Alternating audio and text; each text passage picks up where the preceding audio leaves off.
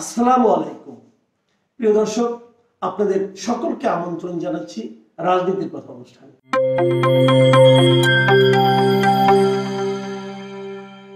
এতদিন আমরা দেখে এসেছি যে পুলিশ এবং ছাত্রলীগ কাঁধে কাঁধ মিলিয়ে বিভিন্ন রকম কর্মকাণ্ড করছেন।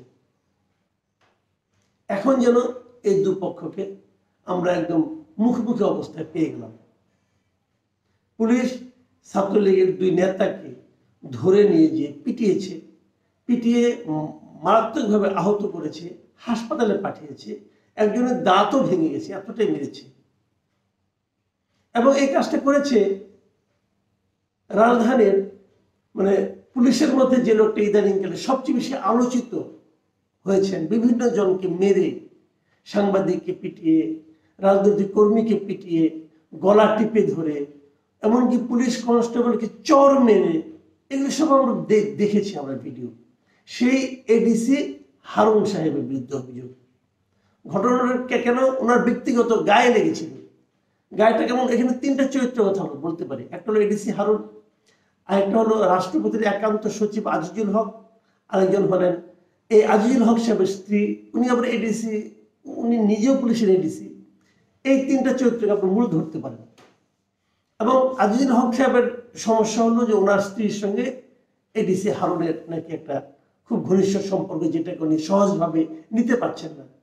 এই সমস্যার সমাধানের জন্য উনি তার এলাকার অধিবাসী দুজন ছাত্রলীগের লিডার যাদের একজন হলো ছাত্রলীগের কেন্দ্রীয় কমিটির সাংগঠনিক সম্পাদক এবং ফজলুল হক হলেন ছাত্রলীগের সভাপতি আনোয়ার হোসেন নাইম আরেকজন হলেন ছাত্রলীগের বিজ্ঞান ও প্রযুক্তি বিষয়ক সম্পাদক ও শহীদুল্লাহ হলের সাধারণ সম্পাদক শরীফ আহমেদ মুনিম তাদেরকে উনি ডেকে নিয়ে এসেছেন। এবং বারডেম হাসপাতালে তারা গিয়েছেন এবং সেখানে ওই এডিসি হারুন এবং আজিজ আজিজ সাহেবের স্ত্রীর সঙ্গে তারা বসে আলাপ করছিলেন, সেখানে তারা গিয়েছেন।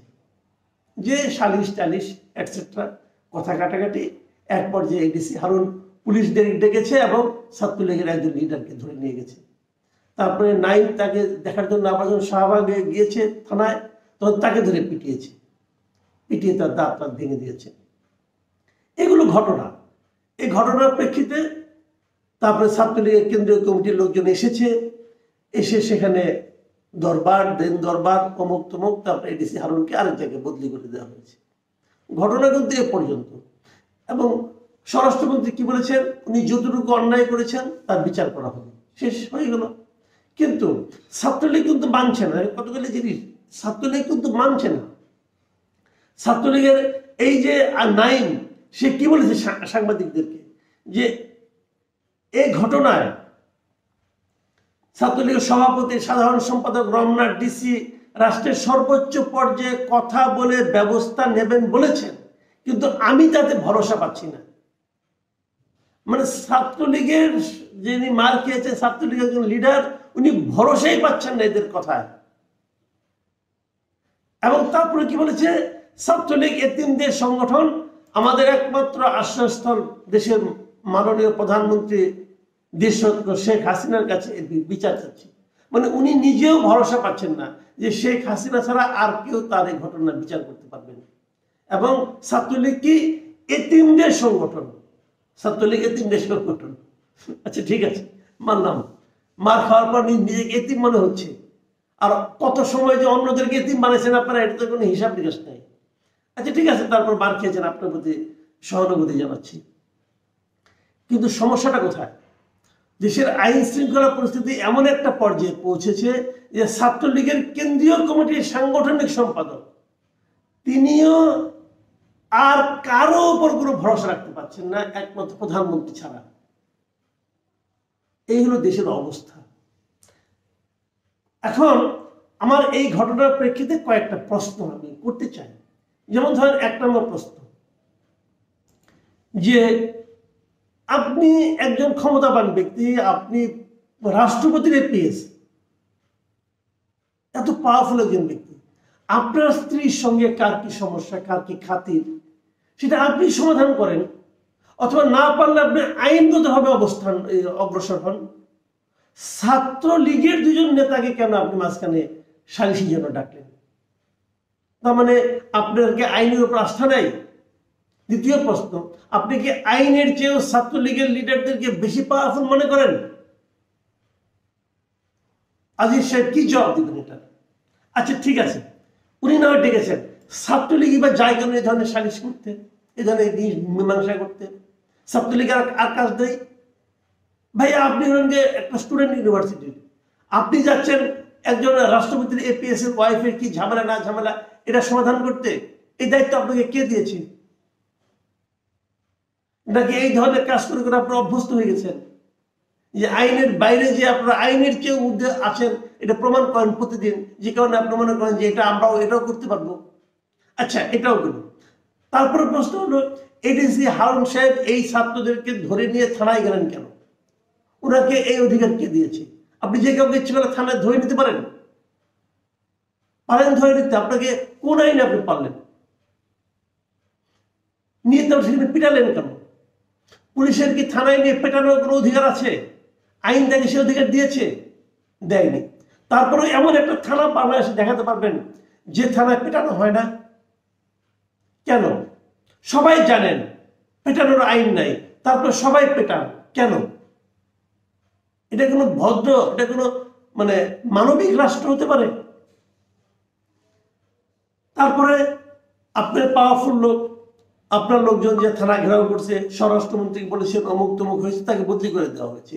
আচ্ছা একজন লোককে মেরে হাসপাতালে পাঠিয়ে দিলেন, মেরে দাঁত ফেলে দিলেন, তার শাস্তি বদলি?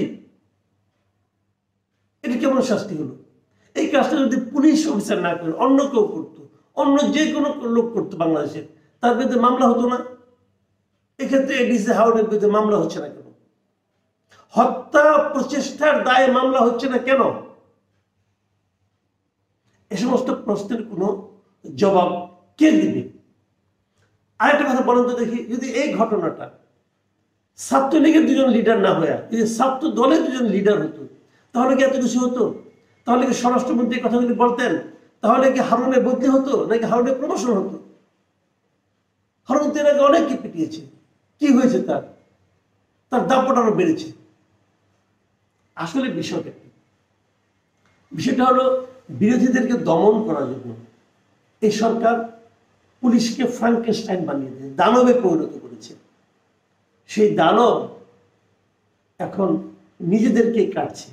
ওই যে একটা প্রবাদ আছে না, যে মানে কিছু প্রাণী আছে, আমি প্রাণীর নাম উচ্চারণ করছি না, ওর যখন নতুন নতুন দাঁত গজায় না তখন নিজের গায়ে এসে কামড় দেয়, নিজের মা বাবার গায়ে এসে কামড় দেয়। কামড় দিয়ে দেখে দাঁত দাঁত কতটা শক্ত হলো। তো এখন এই ঘটনায় ঘটেছে। পুলিশকে এই ক্ষমতা, এই বেপরোয়া আচরণ করার অধিকার, প্রশ্রয় সরকার দিয়েছে। এখন সরকারি দলের লোকের উপর কিন্তু তারা সেটা প্রয়োগ করা শুরু করেছে। আমি এটা নিয়ে আমি আমি আর বেশি কিছু বলব না। আমি কেবল দু তিনটা পাঠকের মন্তব্য করব আমি যে পত্রিকা একটা পত্রিকায় আমি পড়েছি, মানব জীবন পত্রিকায়, সে পত্রিকায় কয়েকজন পাঠক কি মন্তব্য করেছেন, সেটা আমরা আপনাদেরকে একটু পড়ে শোনাতে চাই। দেখুন, একজন লিখেছেন, বিগত একজন মানে মিস্টার জামশেদ পাটোয়ারি, তিনি লিখেছেন, বিগত সময়ে বিএনপি নেতাকর্মীদের পিটিয়ে পুরস্কৃত হয়েছেন, আর এখন ছাত্রলীগকে পিটিয়ে তিরস্কৃত। সামনের দিনগুলিতে আবার ভয়ের রাজত্ব কায়েম করতে সরকারের পুলিশ এবং ছাত্রলীগ দুটোকেই দরকার। সুতরাং শাস্তির চেয়ে আই ওয়াশ বেশি হবে। আরেকজন মিস্টার ইয়াকুব লিখেছেন, প্রাক্তন ছাত্রলীগ একত্রিশতম প্রশাসন ক্যাডারের কর্মকর্তা, প্রেসিডেন্টের এপিএস আজিজুল হককে হারুনের চেয়ে নিরস। তার বউ কেন হারুনের কাছে চলে যায়? নিজের বাগে না এনে কেন সে ছাত্রলীগ নেতাদের নিয়ে হারুনের মতো পাগলা কুত্তার কামড় খেতে গেল? আজিজুলের বউয়ের বিচার কি হবে না? সব নষ্টের গুণা তো আজিজুলের বউ। দেখুন, আরেকজন লিখেছেন, মিস্টার শাখাওয়াত উনি লিখেছেন, যে অস্ত্র দিয়ে ভিন্ন মতাবলম্বীদের দমন করেছে, এখন সে অস্ত্র আপনার দিকে গর্জে উঠেছে।